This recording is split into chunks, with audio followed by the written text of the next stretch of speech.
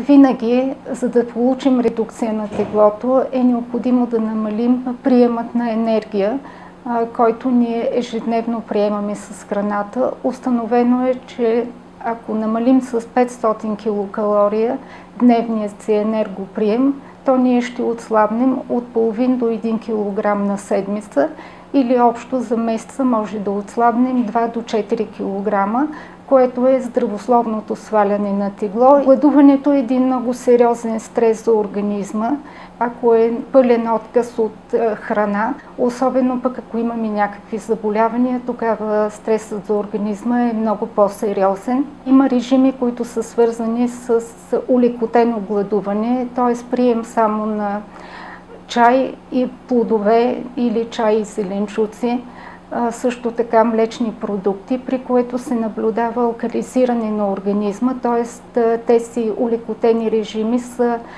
много подходящи за разтоварване и за загуба на малко тегло. Така че ако гладуваме един ден, нищо страшно няма да се случи. Не можем да считаме, че за един ден ние ще можем да разградим мазнините натрупани в масните депа, които сме натрупали по време на, на празниците.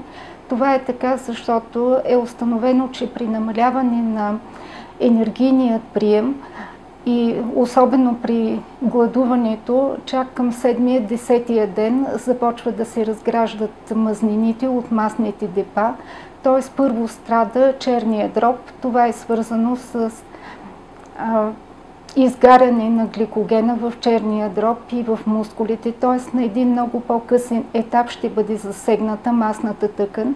Именно това е причината гладуването да бъде толкова опасно, тъй като в организма започват адаптивни механизми. Това са защитни механизми, имащи за цел да осъществят нашата преживяемост. Такава защитна реакция, например, е използването на белтъците, които са градивният елемент на клетката като източник на енергия.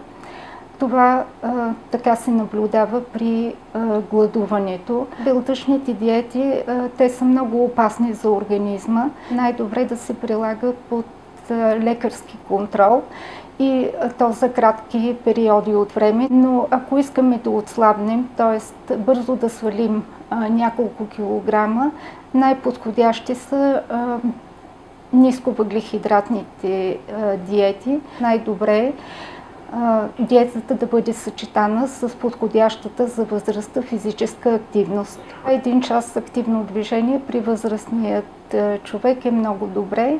Вариант е да увеличи ходенето си пеша в тази първа седмица, в която иска да помогне на организма по-бързо да, да свали килограмите, но е най-добре всеки ден редовно да ходи, така с бърх сход пеша, обмяната на веществата се увеличава а, при по-низки температури.